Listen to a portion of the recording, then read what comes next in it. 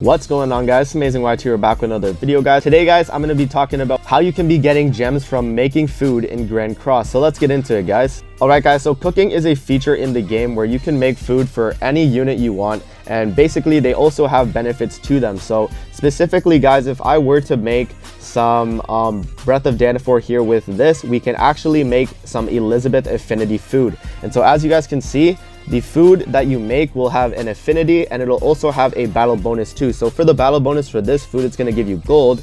But the, the thing that's really important here is going to be the gift affinity, guys. So when you go to your food, you're going to see a, a unit name. So specifically with egg pudding, it's going to be Elizabeth affinity. And so what I can do here, guys, is I can make this Elizabeth affinity food and I can actually give it to Elizabeth for some gems. All right, guys. So when you go over to your characters right here, you're gonna have all your characters already and what you can do guys is you can go up to any character you want and you can check their affinity level. So let's say this Griamore right here guys. As you guys can see I've already maxed out this Griamore's affinity level but you can get to level 3 and actually get a diamond out of giving him food right? So if we were to go to a unit that I don't have that on so let's just go over to like Galand per se. So for Galand he is at level 0 of affinity but if I were to make this food right here the and pepper. And if I were to make about 30 of them, you can get one gem, which is really good, guys. If you're farming overnight with my, my no stamina farming method, definitely check that video out if you haven't already, guys.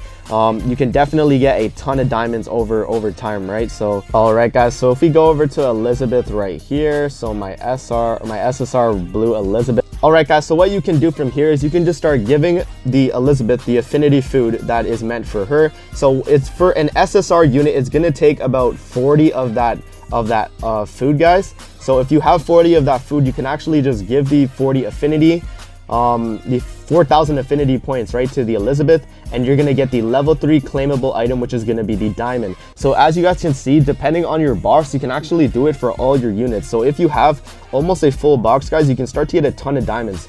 So if we calculate here, so with my box, guys, I have 83 units in the game. So that means if I were to start making food for all of my units, I would be able to get 83 diamonds out of this out of this method, right, guys? So if I were to have um, all the units in the game, I would be able to do 88 diamonds from this method, guys. So definitely make sure you guys are cooking food in the game because cooking is a very important part of Grand Cross. Using this cooking method, you can actually start to get a ton of diamonds for your characters. So I hope you guys enjoyed the video. Just a quick one, but it's definitely needed for anyone who needs diamonds right now. So I hope you guys enjoyed the video. Don't forget to like, comment, subscribe as always, guys. And I'll see you guys in the next video. Peace out, guys.